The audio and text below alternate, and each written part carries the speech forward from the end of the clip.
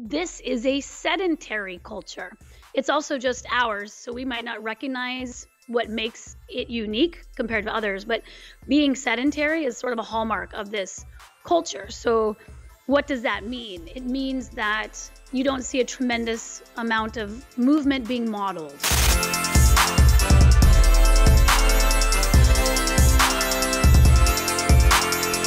So, first question that I have for you can you talk to us about our current state of sedentary behavior right now, what we're experiencing, and why movement really matters? Uh, well, if I put the current state into one word, it would be unprecedented, mm. unprecedentedly high.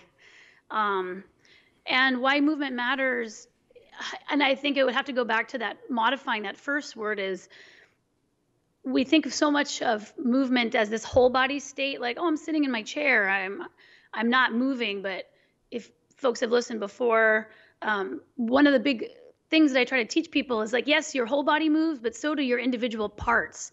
Each of those move. And then the cells of your parts each of those move. And so we don't really have only a sedentary not moving body problem. We have a not moving individual part and cells problem. And that transcends sort of where we think the consequences of not moving lie, which are on only the metabolic effects of the body. But now we're getting to the part by part genetics of the the body. There's a there's many many things that aren't moving. And so like if you just think about your eyes, like we're not moving a lot, but our eyes aren't moving a lot. And that's mm. a part maybe we sat around a lot before, but we didn't sit around a lot with our eyes not moving because they were focused on something. So it's just it's a it's a much bigger issue than we think about. It and we need movement. We need movement like we need good dietary nutrition. And so to be sort of in a movement drought unprecedentedly i think is going to have a, some big consequences. Wow. Yeah, that's a great term movement drought.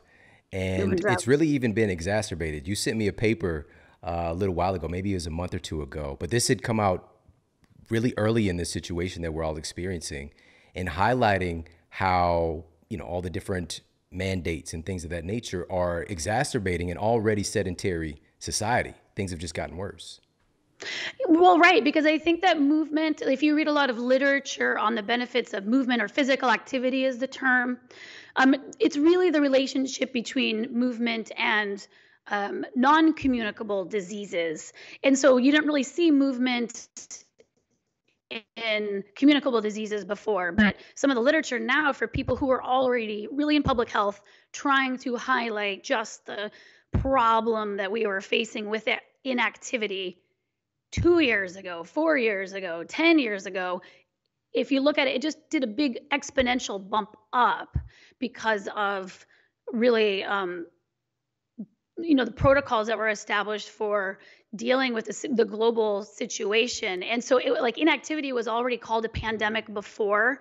And so to see now the the inner the interfacing of those two situations together for folks who are researching physical activity and really physical inactivity it just the relevance is really sort of in our in our faces right now especially if you're in the movement world so I'm loving your new book. It's totally just blowing my mind. And you really highlight that we have a dynamic category of needs that range from it's movement needs specifically from procuring food to family time to healthy movement to time in nature. These are all needs and you categorize those things. Now, we know that these things are good for us. We know that they're even essential, but it can often feel like it's a lot to manage. And I love your idea of stacking so, can you talk about that first and foremost? Talk about stacking. Well, so I think people are familiar with multitasking, right? This idea of like, I'll get more done. I'll just do more things at once. So, you got your list of things to do, and you're trying to, you know, grocery shop and talk on the phone and talk to your kid at the same time. And that's the opposite of multitasking. That's trying to do three different tasks in the same period of time. I think spatially, so I think in terms of volume. So there's a volume of time and it has a certain amount of space within it, and you're trying to cram a lot of to dos in that period of time. Where stacking is the idea of looking at the tasks and trying to select one task that meets all of those needs. Because really, you know, research shows that people don't really multitask. What they're doing is switching between each one very quickly. You're always doing one thing at a time. So you're really, if you're doing trying to do three things at once, you're doing you're not doing two thirds of them all of that time. So everything's just sort of done poorly, you know, and, and you're pr- particularly frazzled. So it's still work that goes into selecting tasks. Like, how can I? I, I list all the need categories, right? Like, we've got needs, we've got to, you know, we've got to work, kids got to go to school or be educated. Um, we all have to nourish our bodies. We all have to nourish our bodies with movement. So there's food needs and movement needs. There's needs to be with other people. There's community needs and um, there's needs for fun or play. There's needs for rest. So when you look at what your categories of needs are, if you look at your tasks, you'll find that sort of the way our society is worked out is to pull out time and try to spend 30 minutes on a particular need. Like i'm going to go to the gym and i'm going to like work out for 30 minutes or 60 minutes. But you're usually doing that by yourself and you're like oh my kid needs some movement. All right i, I got to go drive i got to find a class. I got to drive him to a class. Now i got to put driving on there which is nobody's need. But yet it has become the thing that facilitates many needs so it's um, this idea of going how could I get the movement I need, and the kid kids um, get the movement they need, and and we also need time together. Like so, it's uh, trying to find a single task that facilitates multiple needs at the same time. So, oh yeah, I've I've got when you, when I talk to you, I take notes. you're, Always. Such, you're such a nerd. That's so great. Nerd alert! I just watched this movie. I think it's called Thunder Force, and it's a mm-hmm. great like kind of funny superhero type movie with Melissa McCarthy. And there's a scene where her friend in the in the movie, she's very smart, right? And she gets a little bit bullied and somebody calls her a nerd. She's like, "No, I'm smart. It's a difference." But for me, a nerd is a compliment. It's a compliment to me. I mean, I it's just what I am. So bring it. bring it. Bring it. pocket pocket protector. So exactly. listen, I think that when you mentioned multitasking, because that as I was reading this in the book, it was the first thing that comes up. And you just mentioned something. We're not multitasking in reality. We're switching tasks. And when we do that, we are losing effectiveness and efficiency. There's a switching cost involved that we now we've got tons of research on this. And so with stacking, so you've already kind of outlined how stacking is different from multitasking. Can you give us an example of what stacking would look like? Well, so um, many parents and probably adults alike are struggling with like, how do I get my kids outside more? I, I need to get off my computer more. Um, we need to eat dinner, right? Like, there's all these things, especially parents hold it in a to do format. Kids maybe don't necessarily have it that way. But this idea of like, well, what if you just took your dinner and put it outside. Like, what if you just set it up on the patio or in the backyard? Mm. Or if you even wanted it to be not just family time, but that community time, what if you texted two of your friends, meet me at this park? And everyone just bring their own food, but we're going to eat together. The fact that you set up or chose to do dinner in that way is going to get you friend time that normally is associated with, you know, a party or a gathering where you got to clean your house and you got to stress out and make special food and the things that keep you from doing the activity that gives you the essence of what you need. You don't need to clean your house. You don't need to make special food. You need to hang out with your friends. And when you go out to hang out with your friends, they bring their kids and you bring your kids. And now, hey, there's a group of uh, peers of various ages they're outside because that's where the dinner is. So they grab some food, but they're not going to sit down. They're all, everyone's off their screens now. And oh, there's a playground right there, or there's a field, and someone brought a frisbee, or someone brought a soccer ball. Now people are kicking it around. Very casual, right. very the way it, things used to happen. Very, you know, much less structured and uh, official and organized.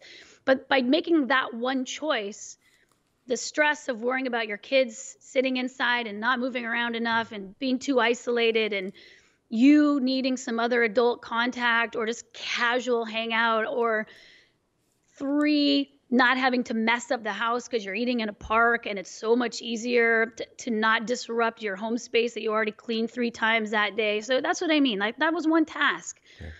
But it totally changes the outcome of that day, um, and I don't have to drive anyone to class, and I don't have to think. I don't have to think so hard. Besides the original thinking of figuring out what these tasks look like, which I tried to put a lot in the book. Like I'm trying to help you. Like here's a hundred tasks be inspired you know adjust them to suit your unique situation but but there are tasks out there because these are the original sort of human tasks. Right. That's the thing about it too so it's not multitasking. It's choosing one thing that meets these different needs. So we're meeting the community need the food need the outdoor slash nature need all in one thing that you would just do right. you know? But what i think i really picked up from your book is it just is it inspires more intentionality behind it. Like why would i not do that? Like let me let's right. do that. Let's like literally i thought about let's have dinner tonight outside on our little outdoor table which we've used like once ever and it's just sitting there. So yeah already. You know what? I think that if we could i want to give another example because earlier when you mentioned driving and you gave for people who can't see the video you gave a, a dirty face. You just gave it the you gave it a side eye. I spit exactly. upon your shoes driving. And i think you know even for if something is literally you know we'll just say 15 minute walk away we're going to jump in the car let's just be honest most folks are just going to jump in the car run and pick up whatever it is and come back whereas you know if we think about it in this in this context of stacking we can change that. And also, I thought about how, and this is true, like I think a lot of us automatically do this. Even when we do need to drive somewhere, we'll say, you know, maybe it's a 30 minute drive to the store, whatever. We also make sure we get the closest parking space possible. Heaven forbid yeah. we should have to walk, you know, two minutes outside to get to the door. You know, so we're walking as little as possible and have supplanted that activity so much for other means, like driving, for example. So, what's another use of stacking here? Uh, well, one that one that really got me through the years of my young with having young kids and having long days with young kids, and now is sort of um, a really dear to me practice with older kids who are ten, you know, and eight, um, is choosing to walk that 15 minutes. Like, not just, you know, if we need to go to the store, this idea of do you want to take a walk with mom to the store? No, okay, come on, come with me. We're gonna go. We're gonna go make something special, and I'll let you pick out some ingredients or something. So you're, it's this together time. Um, I think that talking to kids sometimes can be challenging, especially when you're like, let's sit down and talk, and every kid just like sort of horrified, like, why would we do that? You know, like that's such an adult sort of thing to do. But but when kids are together in groups or even when they're with us, once you're walking and sort of doing something else, all these things start bubbling up. This thing is happening because they're not sitting face to face. It's not sort of a pressure to talk. You're in sort of a movement meditation. You've you've freed up the occupation of your body step after step and you just go get the thing for for cooking and and I would further stack it by saying what you know the challenge and when kids are younger this is all like below teenager I would say they're really keen to do different things and be in charge of stuff. So it's like, if you were gonna make dinner, what would you make? And it's like, right, let's let, like, right, like, and the, let's go get the ingredients and no criticism, whatever you want, let's go make it, you know. And and now the walk, you're walking planning, like, how are you gonna make that? Like, what tools are you gonna use? And and now it becomes a planning session. It becomes now I would put that under education because why do we send our kids to be educated? To learn how to fend for themselves, take care of their fundamental needs. I got to walk. Um, you know what I mean? Like I got the exercise of walking to and from, and we got the extra carrying because we're carrying the stuff home um, that we're going to use. And so that would be another simple task. And even when we are in places where a walk all the way to the store might not be feasible. Walk part way. You know, this idea that if I can't do the entire thing, I can do none of it. That is such a debilitating mindset to get into. It's like, we're going to go and we'll park down here and we'll just walk even the half a mile up. Or maybe your kids need to start with something shorter. That's fine. Like, just pick something and sort of make a ceremony or celebration around it because you did that. You did that thing, and that's really great. And then they'll know they can do it, and then eventually they'll go farther. Yeah, I love this so much. I'm a big, and I think it. We've got to pay attention to our own personality as well. I'm a I'm much more task oriented person, mm-hmm. and so for my son, what I would do. So this when my oldest son was maybe you know nine years old. Um, if we wanted to watch a movie, this is back before Netflix was dominating the world and you don't have to go anywhere. So we had Blockbuster Video, Family Video, and so if we wanted to rent a movie, I'm like, oh, well, we're gonna definitely ride the bike to go get it. And it's a nice mm-hmm. little, it's a couple miles away, you know. And so the first time we went, it was tough. Like it seemed like we would never get there. But then it just got easy. Like even the second time, even on the way back, it seemed so much shorter. You know, so we had a task oriented thing. It's just like, okay, we want to get a movie? Let's go, you know, we'll ride the bike. So we've got this task oriented thing. We're going to get this entertainment. We got time together. We've got this physical exertion and we've got nature time as well. Like we stacked that thing, and I was it was for a reason for me mentally gives me my little brain candy, and that just became our thing. You know, nine times out of ten, that what we do. That was what we would do, and it became at at a point pretty easy for us to do that. And so it's just kind of, but also it's integrating into the culture.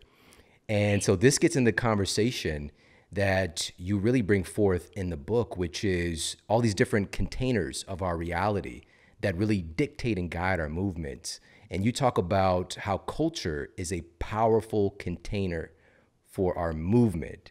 So, how is that? What, what does that mean?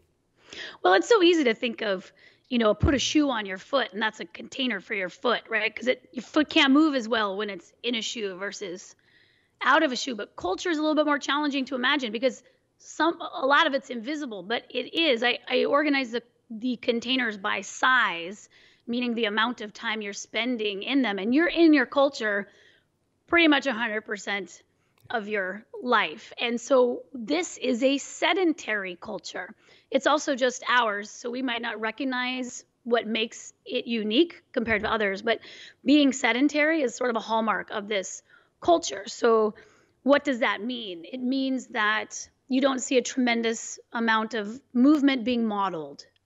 Um, if everyone else is sedentary around you, then to sort of fall in line with your culture. And when you think of culture, I think of biology, this idea that you've duplicated cells that are the same in a container like you've you've cultured something so that's that's what makes it it's similar and, and that's how cells are sort of converted into the behavior of the the broader culture mammals learn through mimicking much more than through written words or symbols. And so you're already this is how you this is how you use furniture. Houses are what you live in. This particular style houses, all other houses are weird. All other houses that don't have furniture looks like that, that's weird because because you're sort of organized to what you see the adults or the peers grow up to be. Um, and then also a lack of permission to move. Signs that actually discourage movement that we might not even really see beyond mm-hmm. the perception of, oh, th- this is the rules for the safety of being in this area. But there's a tremendous number of signs up that that really say movement is not for here. Right. And so my question is then I would like you then to write out where movement is allowed. If it's not allowed inside the house, and and um, this park is only for age, these particular ages, mm-hmm. and and you can't skateboard here or bring your bike or the other act physical activity to this school campus when the school is closed even though this is where we would say children are allowed to move. And and you can only move during these periods of time. What you start to see is we have sort of eradicated where movement is okay as a culture while also simultaneously telling everyone they need to move more hmm. and that and that you're a bad parent if your kids aren't moving more. It's like where would you like them to move? Because when i go into a space like keep your kids quiet make sure they're sitting so they don't disturb everyone else. And it's like when you when you actually take an objective look at it and write it down you're going to see that the reason we have this ever increasing inactivity is because as a culture, we keep removing permission for it. We keep saying that you're not part of the culture, sort of, if you're moving in this way, especially for children. You you can move in a fitness way. You can move in classes. Yeah. You can move in gyms. You can move when you're in the appropriate mm-hmm. box for it. Right. But but that's a very small period of time, and for many people, it's not even accessible. Like so so like that's that's my greater point is it's time to look at the, the cultural, the sedentary culture effect on the other citizens of of this culture, especially the young ones. You know what?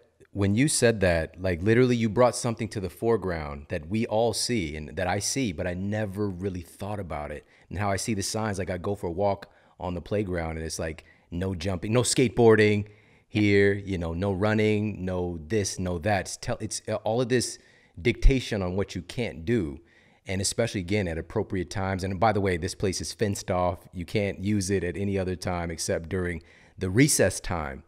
And so I think this is something else that you talk about in the book, which is the fact that our culture now that we're existing in here in the United States specifically, and also, of course, around the world as well, it's, it's a big issue. But our culture is made not moving so easy. Yeah. And that's something else that you talk about. And so I love this idea. So, number one, you bring this to our awareness, but also you say, hey, it's okay because we do have these safety metrics. Sometimes it's appropriate. However, let's put up some signs and say, hey, jump here. This is a good place for you to jump. Yeah. This is a good place for you to run. And in that context, I also thought about, you know, like literally, um, get tag has been banned at certain schools. Like you can't play tag. A kid got hurt before. And this is the thing. And that's, of course, like we don't want that to happen. That's that's terrible. We never want a child to get hurt. However, if you're not taking calculated risk in life, that in and of, of itself is making you a tremendous risk. You're not going to be adaptable when inevitable things happen in life. Can you speak to that a little bit? Well, I do think, I mean, I under I I don't I understand this purpose of the signs. Like we understand that we don't want property to be property to be destroyed and children to get hurt. But again, it comes back to if you've removed large areas of movement for the safety of children or property, where do you expect this movement to happen? I want you to go beyond the rule of where you can't move and be follow that through. If it's a need and you took it away here, where does it go on the other side? What formats look okay to you? Do that work to actually round out the solution because the child still needed movement. So if due to our way of setting up a culture for the legalities of that culture, you know, in case someone gets hurt, I don't want you hurt on my property, but we have other citizens who have needs in this particular way, then then what does it look like for everyone to still get that basic need to be met? And and and then city planners or smaller communities um, can make adjustments. Or like i said you know i i made home in an environment because in many cases those concerned about their children getting more movement movement isn't even allowed in their own home. Meaning that the parents themselves haven't really looked hard i mean it's easy to sort of say you know, my kid can't move anywhere. And then it's like, you know, stop jumping on the couch because everybody knows you shouldn't jump in your house, but I think you should be able to jump there. And someone else is like, well, I don't think so. So then you have to sort of, you know, start with your own home then. Look at, you know, there's a bias check-in in every cult in every chapter to say, I want you to answer these 10 or 15 questions because by doing so, you're going to tune into really your own belief system and understanding and in these um, rules that you might have that you right. might might not even realize relate to movement. Right. Oh, that's so powerful. And I'm so I love the timing of this because this is over the last year because of the, all the time for self-reflection and self-analysis. I've been catching myself in that thought process of seeing my son running and jumping onto the couch. And I would literally think, I think I even told him one time, I was like, if I did that, my mom would kick me in the in my sternum. You know what I mean? Yeah. And so, but I, what I've done is I've become aware of that and just like, is he really hurting something? Number yeah. one. Number right. two, encouraging that because the thing is, he's doing a behavior that he's seen me seen me do, but it's just in this kind of appropriate time. Like I'm all I'm kind of like analyzing like where is this okay because i push the boundaries of that so for example And we'll put a video up for folks uh, of this. Like we were on a tram at the airport one day, and I didn't even think about it. I just kind of tend to see the world through a lens of play. And there's these like these um, uh, things hanging down for people to hold on to. I just grabbed them and started doing pull-ups. There's you know some people up in the front of the car. They're kind of probably looking back, probably impressed. But you know maybe some of them like, what is this guy doing? That's not appropriate. We have those social conditionings where we are afraid to do stuff like that. But I did I literally didn't think anything about it. And I think my wife maybe pulled the phone out and started recording. I was just enjoying the process because it just felt cool. It was fun. The train is moving, so it's like a different feeling. And so yesterday, and this is what I wanted to tell you, my my kids were getting new mattresses, and so temporarily the mattress was at the bottom of a staircase. And I come down, and my son's like, my youngest son's nine. He's like, Dad, come here. I want to show you something. And I'm just like, What is it? I didn't know this mattress was right there. And I come and I see him, and he immediately jumps off the stairs and dives onto this mattress. And I'm just like, whoa, good job, buddy. You know, it's just, and it's just like six stairs. It's not a big deal. But he found he found a, a way to play. He found a new creation in the house. And I could have been like, hey, don't do that. That's that's not safe. And I could see the part of me that wants to do that. And it's just like, let's create a, a this is what I want to ask you specifically. We know the overarching culture is geared towards making sedentary behavior the norm. Can we create our own cultures? How can we go about creating our own cultures in our own little bubble that can encourage more movement? Absolutely. I mean, there is no one culture because really we each have multiple cultures within ourselves. You belong to many and they are at different scales but your home culture is your home culture. And you have a lot of control over your home culture. It just is a lot of work like you said to to check in with like what exactly am i worried about? How what would the consequences be? What's the consequences of them not doing it? You know you it's really you have to do such a a much broader risk benefit uh, analysis than we're used to. Like we're just sort good bad done you know? And it's like well what exactly like you need you need to have a you need to have i call it a personal mission statement. You know people have mission statements for their business but they have no personal mission statement and they have no family mission statement that takes into consideration the unique direction of every single person within the family. So your family culture, that was in a different book that I wrote, was like you should make one, even if it's just keywords, because then you could see quickly does me squelching this behavior align with my mission statement or not? No i want you know i want him to be my son in this case to be robust physically. I want him to have some autonomy over making decisions. I want to reinforce that he knows his body. Um, there's there's nothing that could be damaged. Um, if there was i could talk to him specifically about that particular damage and say hey could you make sure that this doesn't happen and then go on you know let him know what your needs are? You know it's just again that same old how to be with people. And yes you when you do that with your own family members or even a larger culture that's outside of your family any other group that you belong to maybe it's a sports team maybe it's the sports team where you're like hey we're trying to change our personal food culture. Is there a way we can not do you know sodas at this event because it's becoming you know a challenge like could we do this you know like it's just the difficulty of broaching communication with someone else is really the barrier to making a lot of these changes. And then just when you have been honest and written down what you need and why and you feel comfortable bringing it to other people who love you in your community that's you know that's that's when change happens versus rules. Don't do this this not allowed. Mm. i'm like you know if we could just have communications human to human people are much more willing to adjust their behavior than putting down a bunch of mandates. Oh oh you just said the m word. All right well let's go to a different m word which is a, a term that i picked up from you.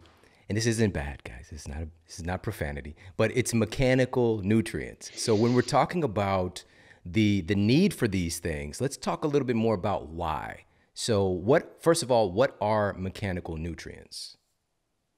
Mechanical nutrients are what happens when your when your body moves. So when your body moves, the cells of the parts that are moving become squished or change shape.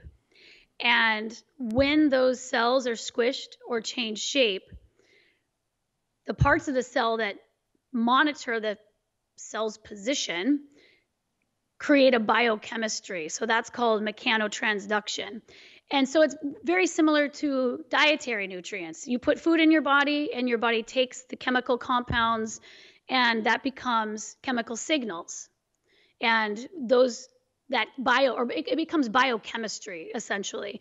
We don't think of movement as going into our body, but movement coming into our body eventually becomes biochemistry mm, by the right. act of bending or squishing the cells. And so my argument is always been to recognize the essentialness of movement by classifying it as a nutrient because it meets the same conditions and and dietary compounds aren't the only compounds like we've said that sunlight has a nutrient in it so we're already okay with non-foods being classified as nutrients Nutrients are something that, in their absence, there are a predictable set of symptoms that arise, and that when you reintroduce the compound, those symptoms go away. So, if you've ever wondered why we have things called vitamins, it's because someone figured out that, hey, when this compound X, we don't know what it is, but we had a group and we tested over hundreds of years, and we've been able to figure out that, hey, and there is a compound, some essential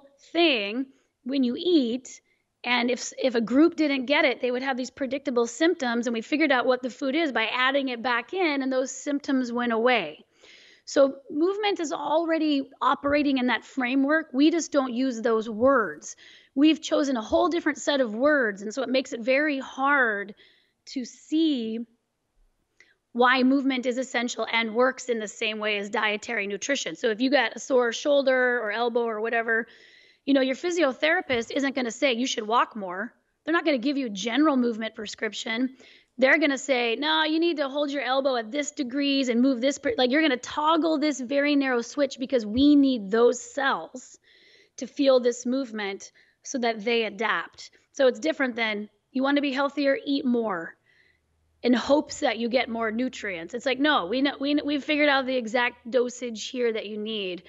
Um, we just don't call it vitamin uh, bicep curl with your arm turned five degrees. So, so for every movement, there's a different squish, and each one of those is a different nutrition, so to speak. Um, and so we haven't figured out what the full doses of um, movement are beyond the general physical activity of like, hey, you need to move total, you should have some strength, some cardio, some flexibility.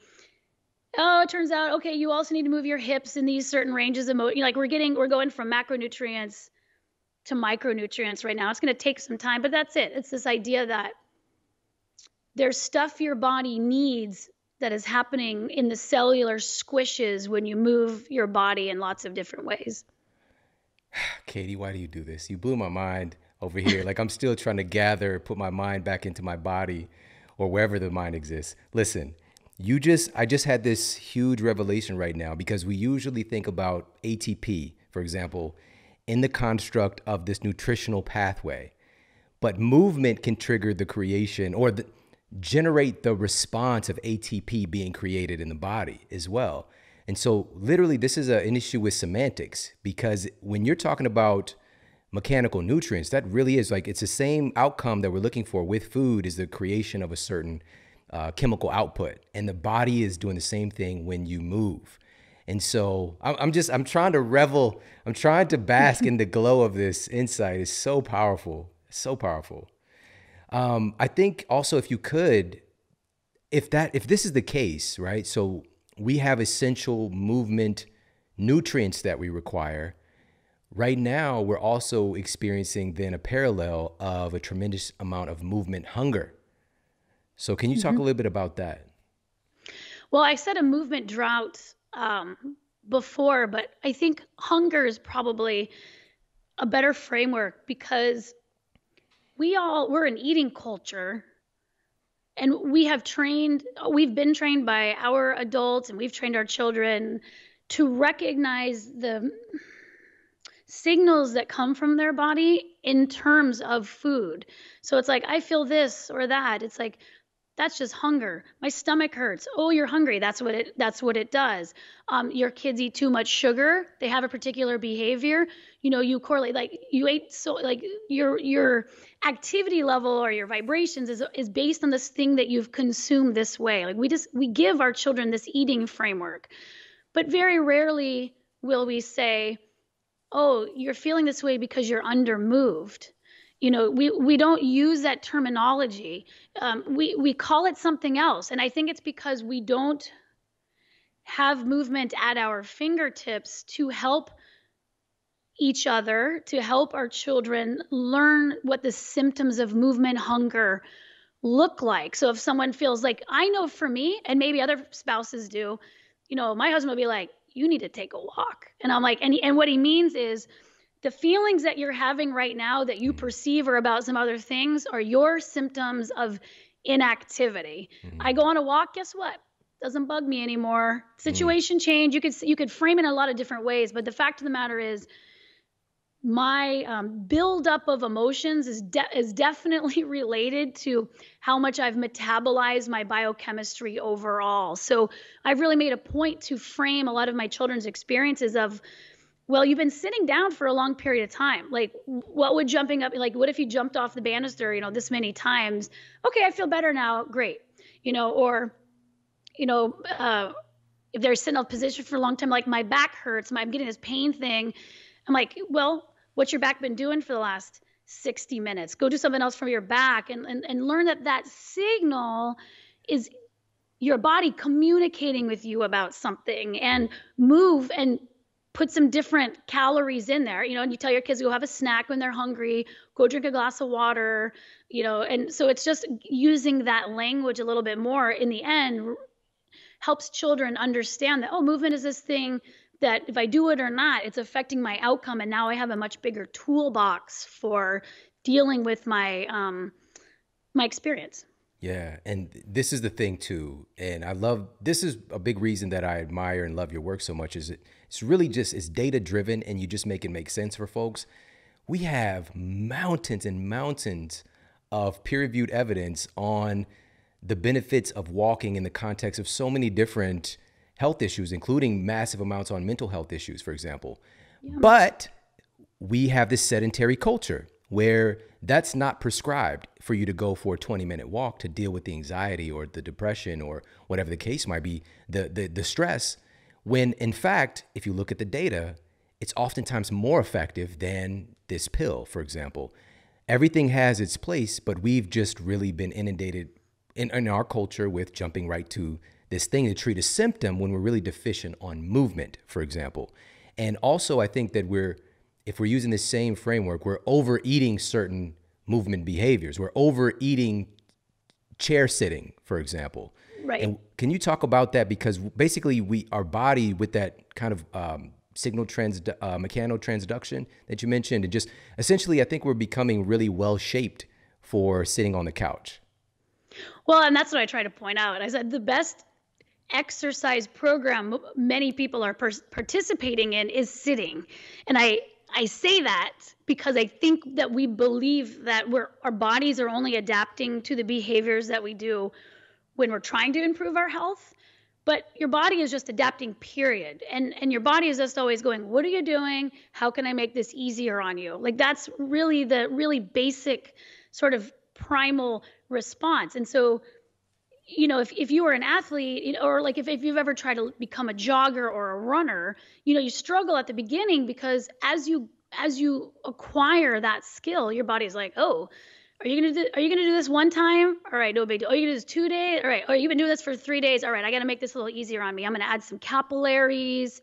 I'm gonna go ahead and beef these cells up because I noticed you were putting load on here, and so it it's changing its anatomy.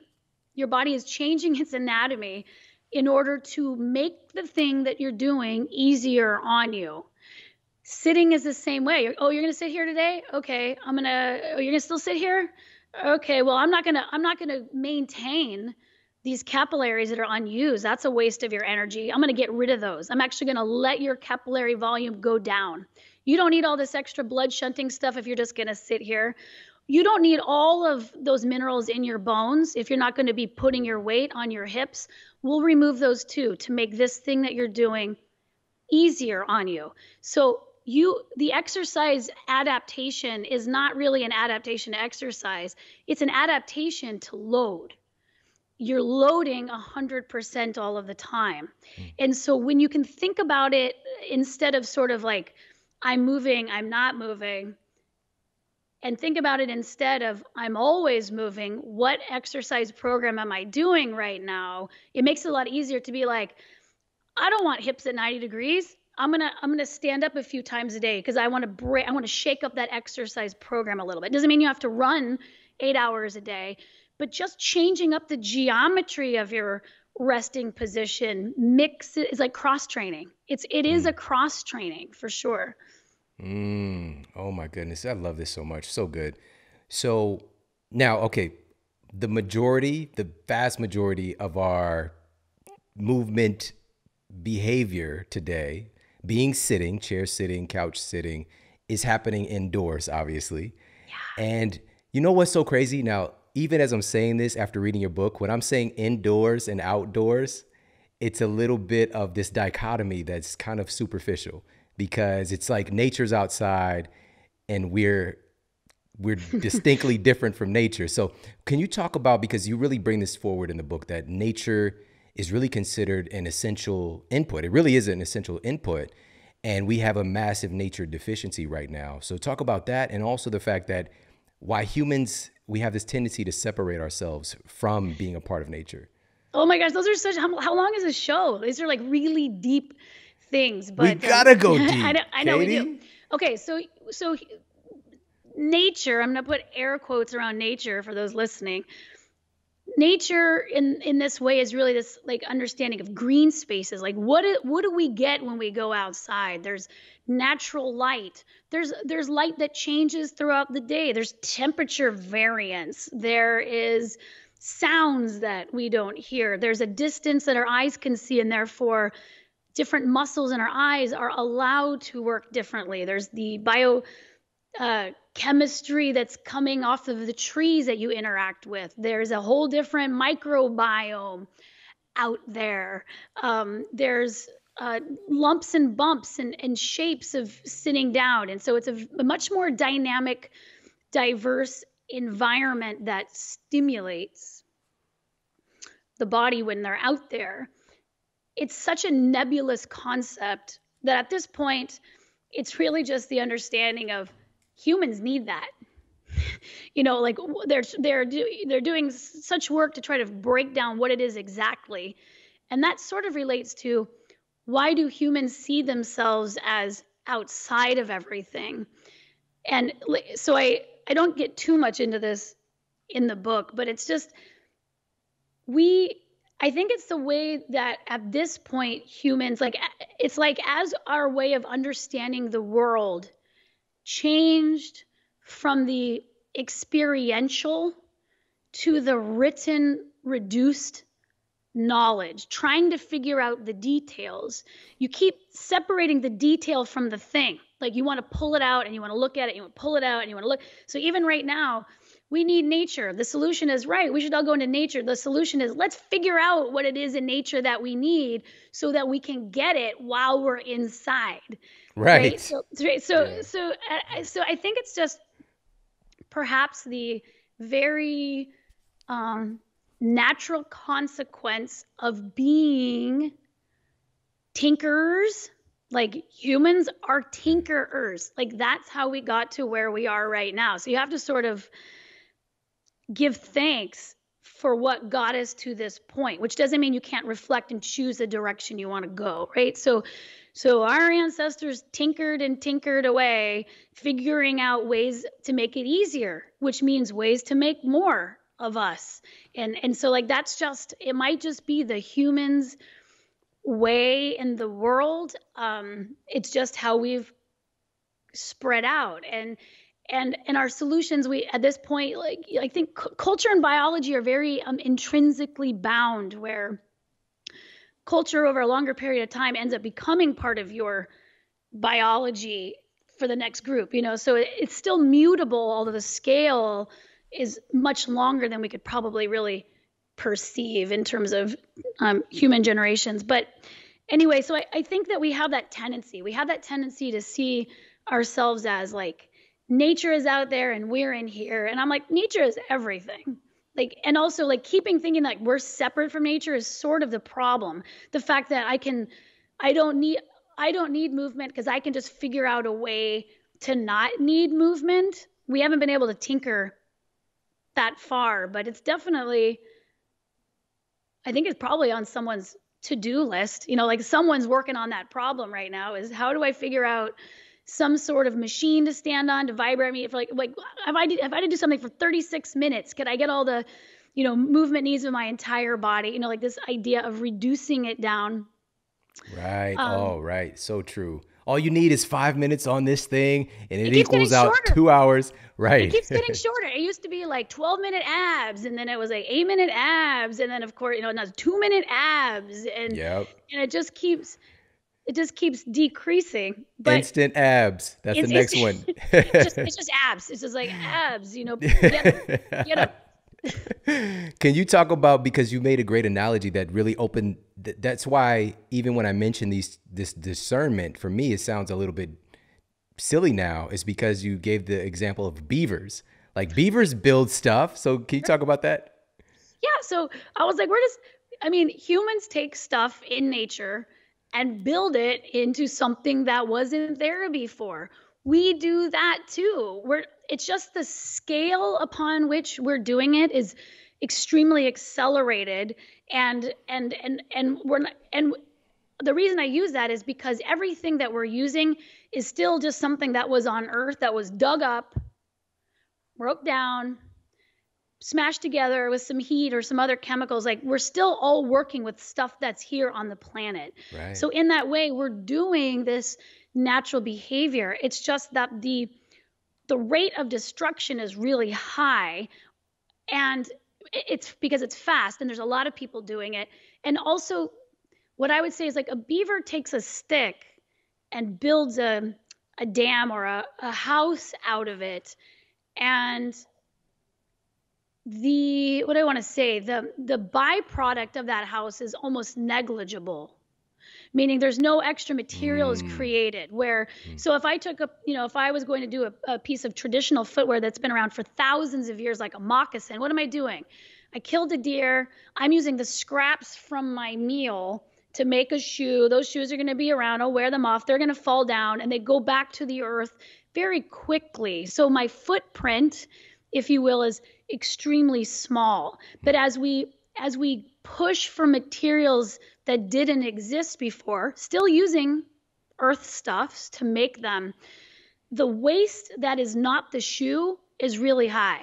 So I can make a shoe, but the amount of non-shoe stuff that was made that's not the shoe, like that relationship between the two is much different. So it's all just it's all just increased even though the, the foundational element of humanity is the same but the access to the materials and the rate and the scale upon which we build is so much bigger and the amount of time the things that we're building with that they stay doing nothing like that's like trash and it just the scale the scale is much different. The scale is really the only thing that's different to me yeah so true like i could i thought about it like the the beaver doesn't have like fumes coming out of this beaver house right. and you know Ah, so good. Um, this still, I, I want to dig into this just a little bit more because when I was early in my career, even, you know, like I just didn't see the value in walking, even though it's the most natural, normal thing that we're designed to do. If somebody's just like, you know, they're walking to, you know, lose weight or be healthy, whatever, I'm just like, in my mind, I'm like, you need, you're going to have to hurry up. You're going to need to speed that walk up. Um, but in reality, it is such a nutrient dense movement if we can frame it like that. So can you talk about why walking is such a nutrient dense movement and also why you shifted from telling people to walk more? Oh, well, for exactly that reason. You're like, why would I walk? It's so slow. I got all these tasks to do. If I, I, I gotta know, like, it's gonna take too long. I could, I could do so much more if I just drove. Or I could fit my workout in more if I just ran. I could do the same distance in half half the time.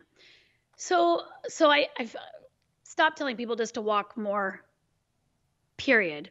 Instead, I'll try to approach like you can actually get more done in many cases if you choose to walk because walking well, let's, go with first like why it's a nutrient dense movement. It really uses a lot of your body. It, it loads the bones, right? So like if you were to compare it cycling, for example, walking you are weight bearing on your body. Where cycling you're not.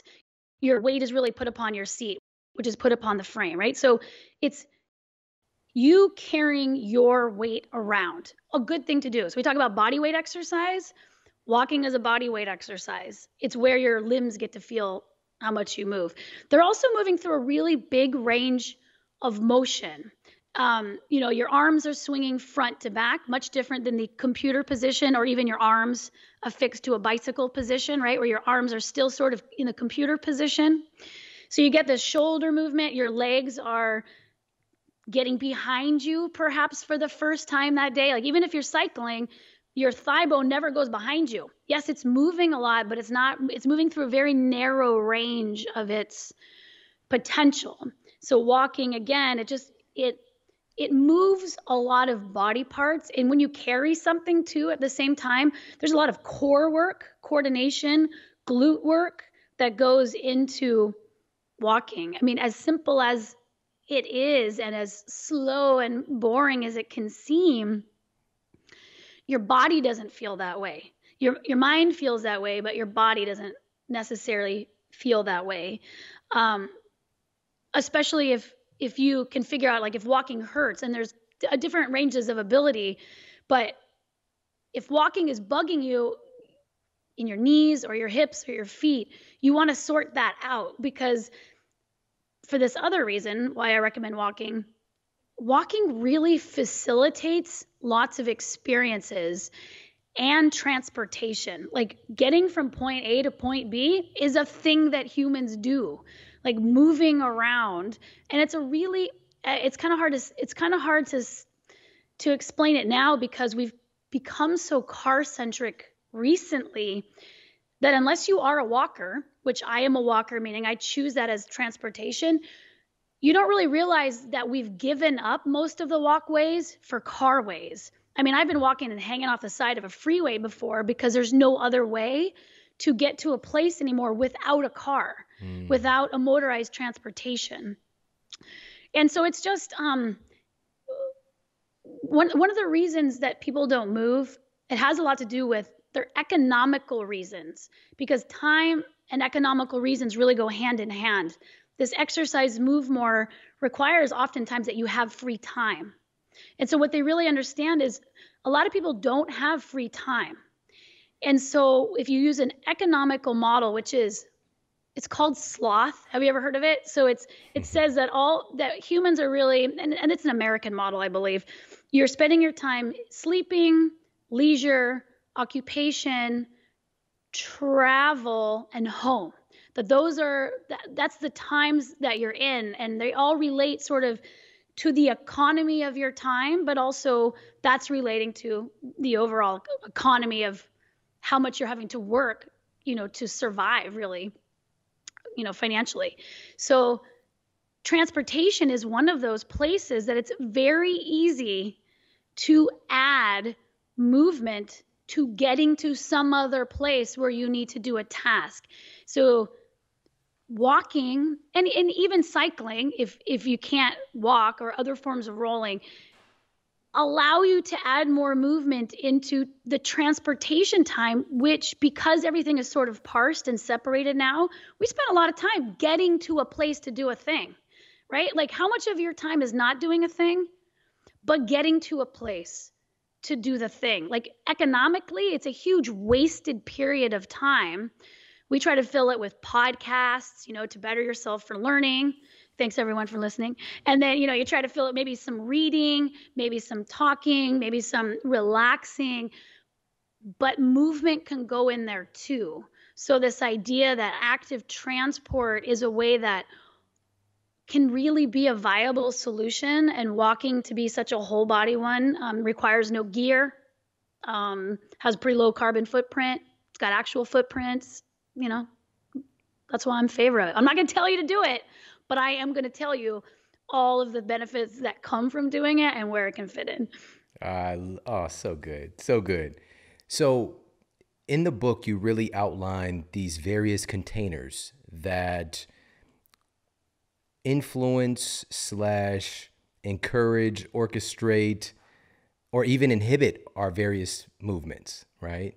And so we, we mentioned already the culture container, but another one of them that spoke especially to my heart was the food slash cooking container. So can you talk about that one a little bit and why you decided to put, I mean, of course it's like in, integrated into it in the first place, but why did you make it an emphasis to talk about in the book? Look at how much time we spend dealing with food. I mean, if we go back to the most primal state, the only reason we get up and move around each day is to eat.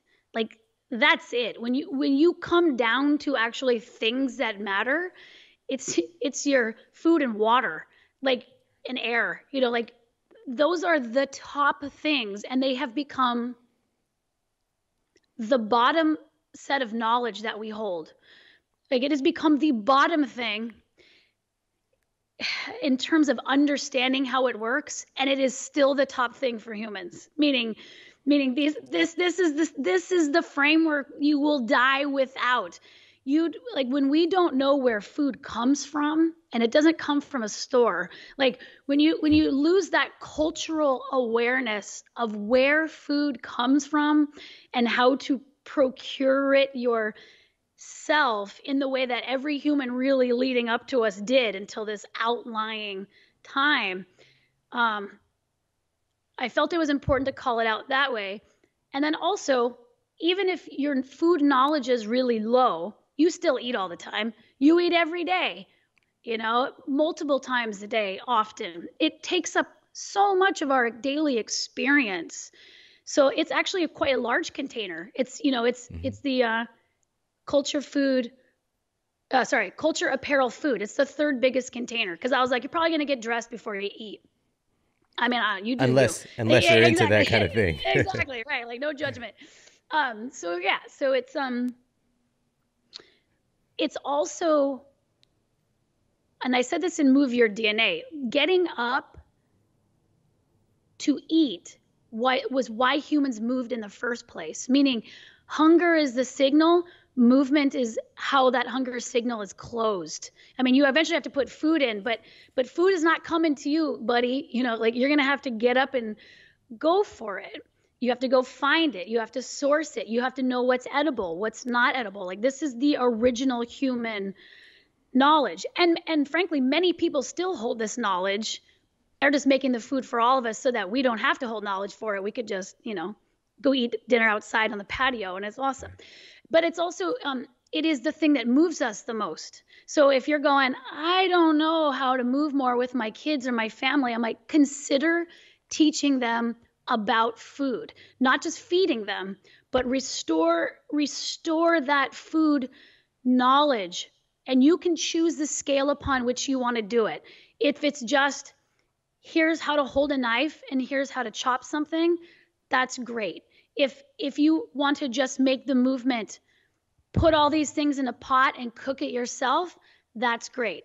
If you want to plant some sunflower seeds in your window right now so they can see a seed and the fact that it plus soil and the air can pull mass and grow into something that didn't exist before, do that and look at like that's a task. Like you want to talk about miracles, you want to talk about the miracle of life and why we get to be here.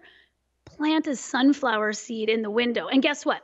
The movement to go find a box, to go get the seeds, to bring it water every day, those are movements too. We've been told that we need exercise. We don't need exercise. The only reason exercise is even on the table as a word, as a concept, is because we let all the food and movement go and we're mm. trying to like bring it into the house. Like we're trying to be like, oh, let's go get some of that nature and bring it into the house. Let's make a movement house. You know, we could drive from our house house to the movement house, and we never have to go outside. So it's just that. It was just, and it, it's like solution. Like you could read it at that level. I know you get it at that level. Thank you for asking me about it at that mm-hmm. level. But it could also be if you take cream and you shake it in a jar, you're gonna have butter. And you know what makes it butter? Movement it cells mm. banging up against each other make butter and your arm muscles making that movement make butter. And people have been doing that for thousands of years and now you're part of you're back in line with this chain. Like you're you're you're getting back in line with this thread. And to me i love humans. I love all the humans. Like I, I, I want to like that's just my way of going. You were wondering what maybe you could do with your kid that would inspire them to want to be in the world a little bit. Show them some magic. So show them some old magic. Mm, right, original magic. This is pre David Blaine, David Copperfield magic right here. Pre Houdini. That's right. You know what? I, I really want everybody to get this because again, you just did it again you blew my mind. The number one driver through our evolution as humans, the number one driver of movement is to procure food. That's the number one thing encouraging and inspiring us to move was to get food. That's why we did it. 20,000 years ago, a hunter gatherer wasn't coming out of his, you know, his tent or whatever the case might be, uh, his his uh, his teepee, and he's just like telling the guys like, "I'm about to go for my run," they're gonna be like, why? What do you mean? You know, it, I'm I'm gonna go and procure food. That's the whole purpose. And now today, that piece, the the number one driving force of human movement, has been taken away. You know, the the most you got to go is just walk into your kitchen. But even that, though, we can add dimensions of movement to, which I love that you're talking about on that kind of very granular level. But from a bigger perspective, for us to wake up and see that that has been removed from our culture, where we even have to, to be involved in our food in the first place. So taking a step of let's get more involved in what we're doing in the kitchen and cooking and encouraging that with our kids, growing things, go even an action step going to a farmer's market, for example, uh, versus you know now now you don't even have to go to the grocery store. You can DoorDash it, you could do whatever. We're just taking more and more steps out of the process of moving. Next, we're going to just have chairs that feed us, you know. But you can go to a farmer's market, you can engage with the farmer.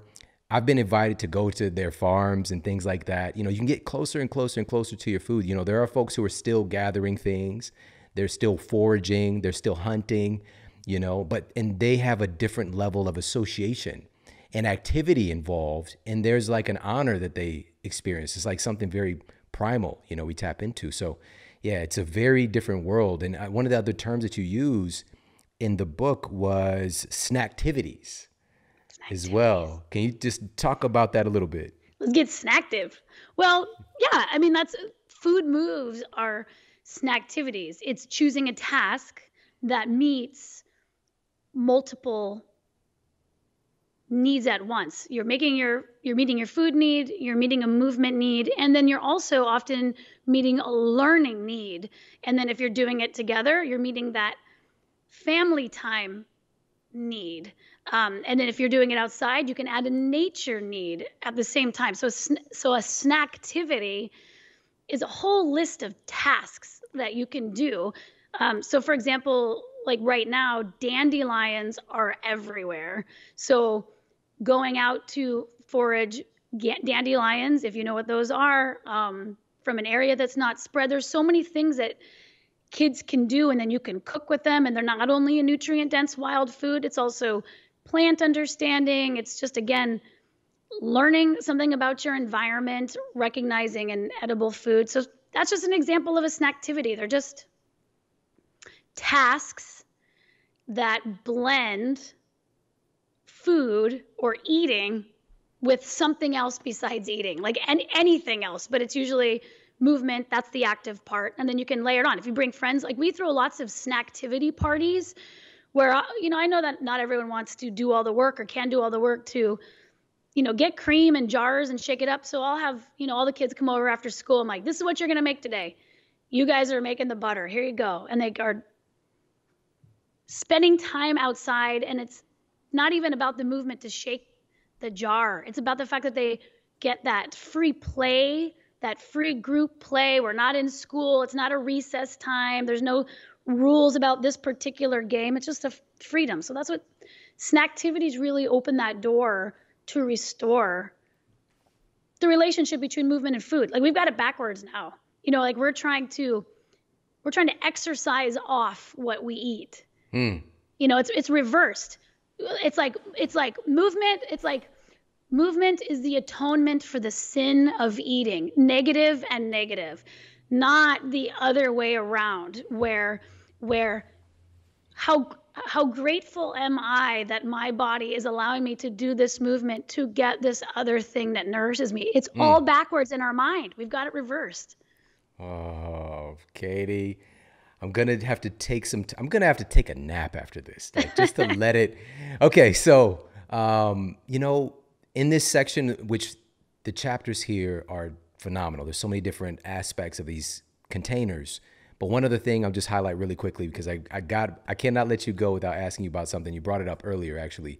But one of the other things you talk about in this section is, you know, the the the movement involved in eating the food itself and how yes. that's been changed, for example, and now it's just like everything, even if we don't realize it, it's just like so many soft foods. It's just like soft foods forever forever. Whether you're a baby or not, we're still doing this Gerber thing. Smoothie it up.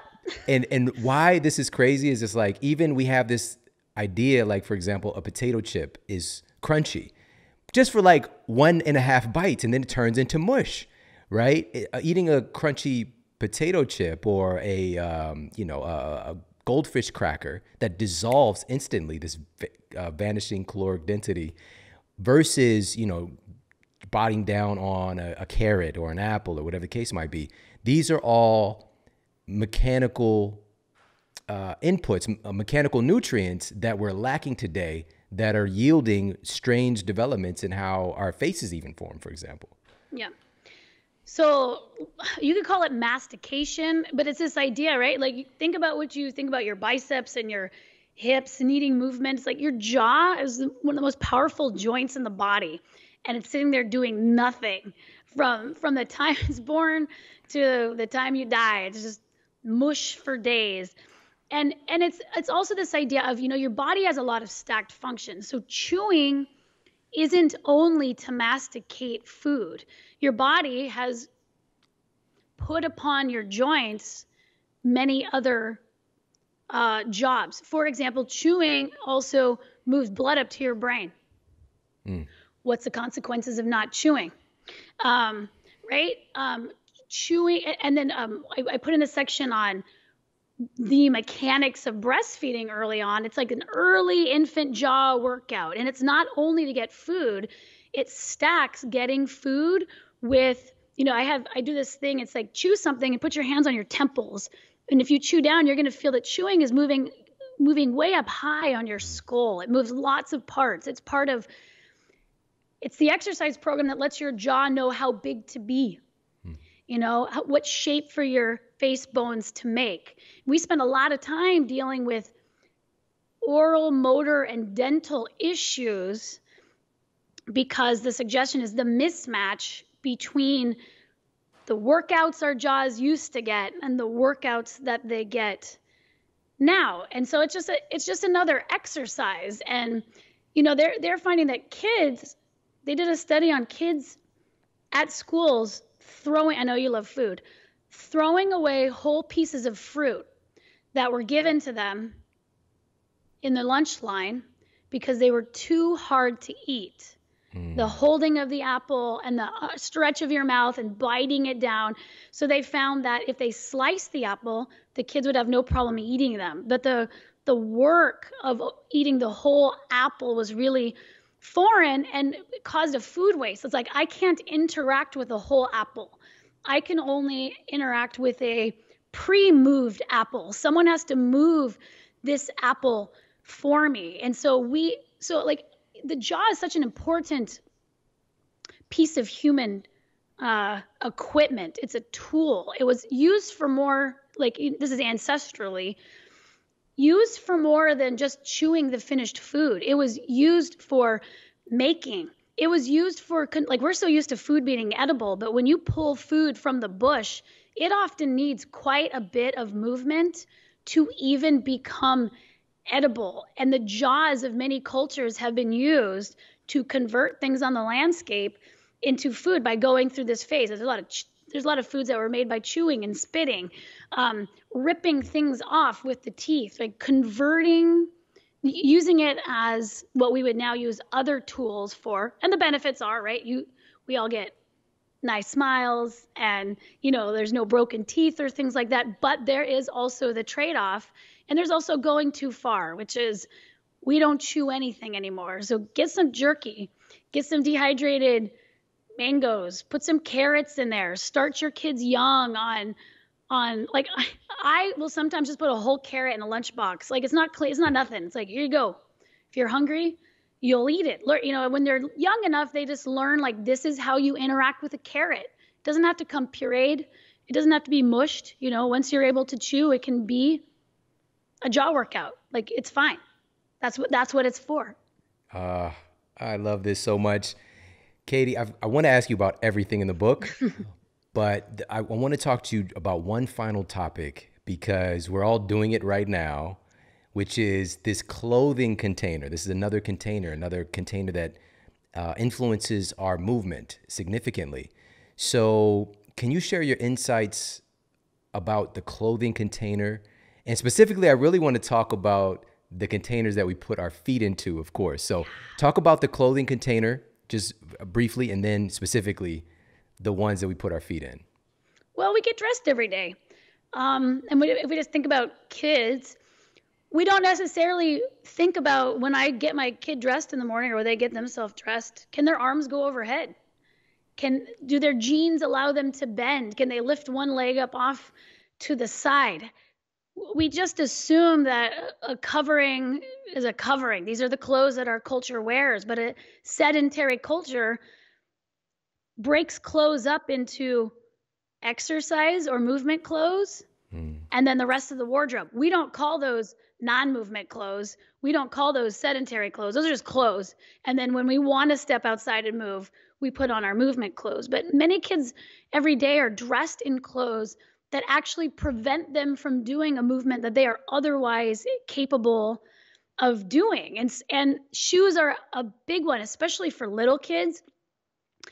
Kids are often put in these big clunky boots, especially rain boots, you know, that here's their little tiny foot and they're and like kids are such emerging computers monitoring their environment, learning how to balance. They're already struggling how to walk. And then sometimes they're wearing these boots that pass over their ankle and go up to their knees. And they're trying to figure out how to control the subtle the subtlety of their body and they've got these weights on their legs that make it so the first joint doesn't even work. And so they start lurching around and we're just like, that's how kids move. It's like, no, that's how mm.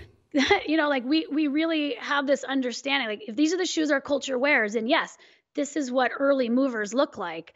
But if you remove the shoes, they don't necessarily move like that. We're we're not really as keen on seeing our influence sort of in how kids are moving around. And then for grown-ups too, it's the same thing. You've got 33 joints in each foot.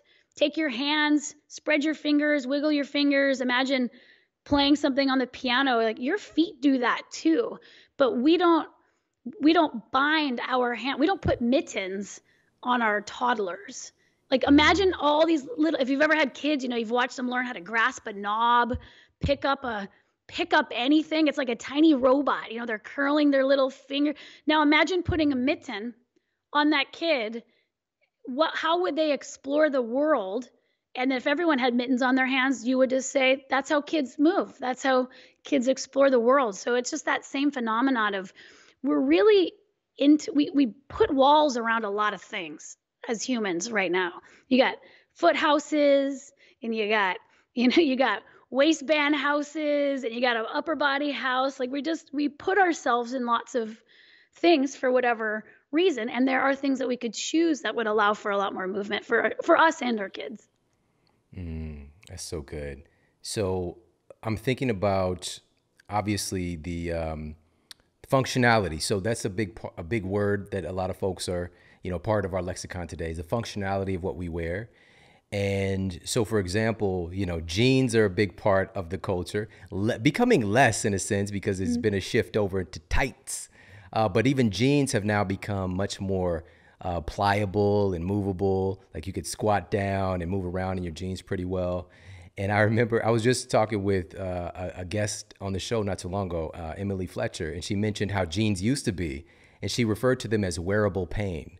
And I was like, that's so yes. good. That's yes. so good. Until you quote break them in, right? And that's right. the same thing with the shoes. Like, oh, you just got to mm-hmm. break them in. These shoes are incredibly uncomfortable when you put them on. You got to break them in. But in reality, you know, there's so much, uh, there's so many mechanical nutrients that are missing because of the types of containers that we put on our feet. So, can you talk about uh, just a little bit about some of the things for us to be mindful of? Like, for example, with the heel of the shoe. Uh, let's start there. Well, the character, you can look at a shoe in terms of the way it affects movement by heel height, right? So, and even a, a trainer or a sports shoe, I'm not talking about heels, high heels. I'm just talking about how much the heel of the shoe is elevated over the toe. So that's one. Another one is the narrowness of the toe box. Mm-hmm. So the part where your toes are in. You know, if you spread your toes away from each other when they're out of the shoe and you trace that on a piece of paper, set your shoe over it and see if the front of your shoe is more narrow than your foot would need to be if it was really dealing with balance or stretching out on the ground. So we tend to rein rein the front part of our foot in often. Um, another one is upper. So uh, if you're in California, there's a lot of flip flop action going on. So an upper is the part of the shoe that connects your foot to the bottom. So, you know, if you put your foot all the way in a shoe and lace it up, that's a full upper. But when you start getting into a flip flop, that's a partial upper. And what makes it partial is not how thin the straps are, it's the fact that they don't go around the back of your foot. Right. So your foot's always almost sliding out a little bit. So you've got to do, you have to change your gait yeah. in order to keep those shoes on. Maybe you'll grip your toes a little bit. Same thing for uh, any shoe that slides on, really, even if it's a full, you know, clog or slide on. You get, you got to do something to keep it from flying off with every single step. And then the fourth one is the flexibility of the sole.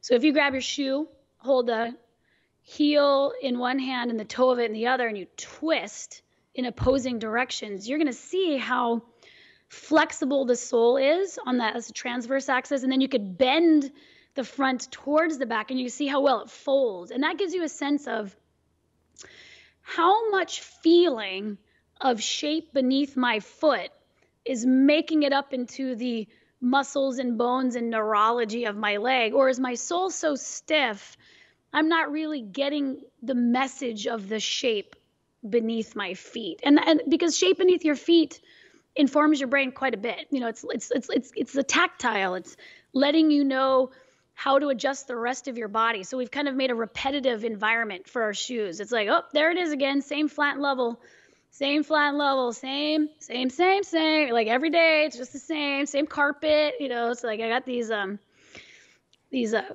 my feet in like comfortable sock bags and like it's just a mm-hmm. neutral repetitive environment. So you know, you mix up your shoes, you allow more of nature to get into your feet. Again, stimulate lights lights up your brain. It, it uses different muscles to do that. Ah. Uh, the new wind beneath my wings for everybody's going to be the shape beneath my feet. All right. You are the shape beneath. All right. So I love this so much. This is so, so good, so insightful, so powerful. And I love you make this statement in the book because I know as soon as the word the word heel came up. I know some people were like, "I'm not not my heels," right. and you say this very explicitly in the book. You say that it's not what you wear. So so I think okay, I'm just going to directly quote you. So what you say in the book is that it's what you wear most of the time that matters, right? This doesn't sure. mean that you can't have your fun time. You can't wear your Jordans, your your your, your high heels, your stilettos, all those things. That's all good but it's what you do most of the time. And I thought about this the shoes that I wear most often are ones, I, and you have a picture in the book of some kind of curled up shoes, some balled up shoes. And those are what I wear most often. You know, it's like some older free runs when they were really pliable, like I can roll it into a ball. And those are the shoes that I wear most often. Whereas, you know, from time to time, of course, if I've got this going on, I put on different shoes and, and I can notice the difference. Sure. That's the thing. And I think it's for us to tune back into that that mechanical feedback that our bodies are giving us when we're wearing shoes that are a little bit abnormal or a lot abnormal. Noticing the difference is a gift. It, that like th- that's the whole point. The point like we all we're all a culture like I said, but we all have individual cultures. Like where no other culture matches up. Like my like you don't share the culture of anyone else exactly. You are unique in that way. You've got you have your apparel in the sense of apparel is also self-expression. So it's not trying to mess with self-expression or even you might actually feel better in certain ways but it's that in many cases we are imparting um, a lack of contrast you know like you can't even feel what a you you don't know enough to know if you don't like the way your feet move when you're walking if you've never felt them before. So it's just making sure that you're providing the full experience so that then as we go on to grow up we select how we want to move forward versus having no awareness of something of movement in this case i'm saying there's a lot of movement to be aware of you can certainly choose your movement flow going over, but I want to make sure that you're making as much of an informed choice as I can give you. So what you what you wear now and then, even every day briefly, is not the same as what you're doing all of the time. So it's like, you know, you don't tell people not to have dessert ever. No, it's it's the same thing. It's a balance. It's just understanding like I I'm going to look at how this affects my body over time. I'm going to experiment with myself. And, and it turns out I actually do I prefer the way this looks and feels when I'm wearing it in these situations. And I'm going to adjust the rest of the time with this choice. And that's what we're all after is just as much information as possible. Absolutely. The new book available everywhere right now is Grow Wild. And we're just scratching the surface. We've only talked about the culture container, the clothing container the cooking container, just little bits of it. And we didn't even get into the home container, the learning container, the activities container, the celebration container. So much good stuff in here. It is a absolutely beautiful book.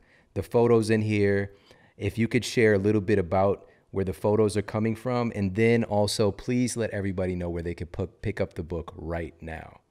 So no stock images. All of those photos were just submitted from families doing it in different places in different situations so that you could see sort of the range you know of how people are getting it done because you have to fine tune it to your life. So it's beautiful. I mean i really love people submitted stories um, so they're all real. Nothing posed in there just life in action. And you can get it at uh, growwildbook.com Perfect. or amazon Grow- or amazon or bookstore or wherever you go all all the usual places. Yeah. You can pick it up anywhere books are sold, or go to growwildbook.com and pick it up like yesterday. It's so good. I think that everybody needs to have this book, and it's a great book just to have laying around, and also for kids to just dig through. I think they'll do some modeling just looking at the pictures in here. I, I wrote it. I mean, I wrote. I said I we're high, we're highly visual at this point because of social media. I think. Um, so I'm like, I'm going to put photos in here that even if the grown up in the house didn't read it, when kids go through it,